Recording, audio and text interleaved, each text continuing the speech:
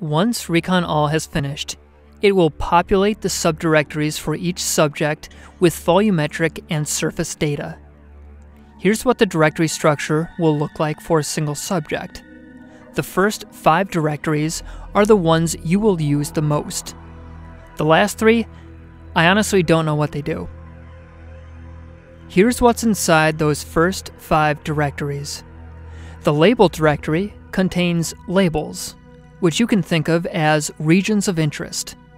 This includes the atlas annotations for that subject. The MRI directory contains volumes, such as the intensity normalized brain, the skull stripped brain, and the subcortical segmentations. The scripts directory contains records of everything that happened during Recon All. Nearly everything is in the file reconall.log. The stats directory contains structural measurements such as thickness and volume for each parcellation and segmentation. The surf directory contains surfaces, such as the pial and inflated surfaces. Today, we're going to look at the output of the MRI and surf directories using FreeView, FreeSurfer's viewing program. Navigate to a subject's directory and type FreeView. Load the anatomical image by clicking on File, Load Volume, navigate to the MRI directory, and load the file t1.mgz. This is the intensity normalized anatomical image. This is the view panel.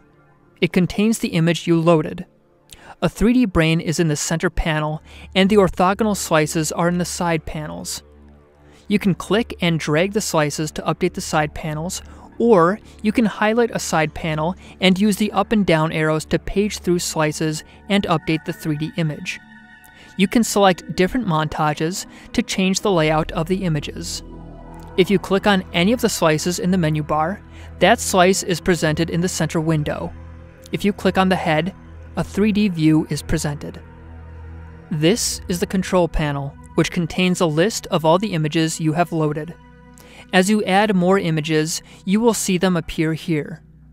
Load another image, the aseg.mgz file. This is a segmentation of the gray matter, white matter, and subcortical structures. Notice that the aseg image completely covers the T1 image. Think of the images as layers.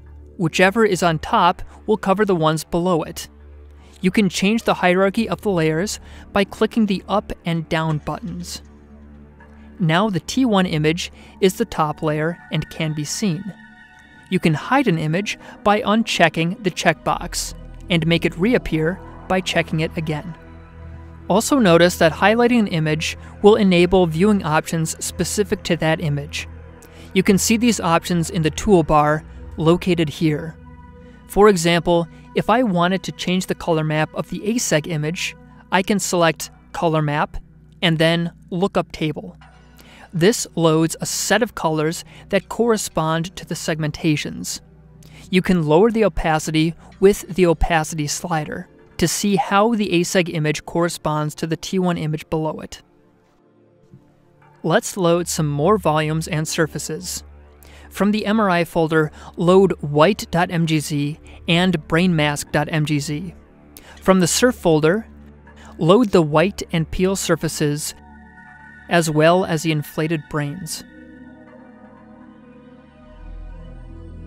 Highlight lh.pial and rh.pial and change the edge color to red to better see the difference between tissue boundaries. It is important to view both the volumes and the surfaces simultaneously to make sure that the surfaces follow the expected boundaries on the anatomical images. You will be using this when we discuss failure modes, or how to repair data that was incorrectly parcellated or segmented during Recon All. Let's finish by looking at how to run FreeView from the command line. If you know what settings you want to use, you can save time by typing them from the terminal. The dash V option means that the following images will be volumes. The F option means that the following images will be surfaces. Colons signalize which option to use for that particular image. For example, the color map for aseg.mgz will be the lookup table, and the opacity will be 0.2. See if you can figure out what the other options mean, and experiment with changing the options to make them best suit your needs.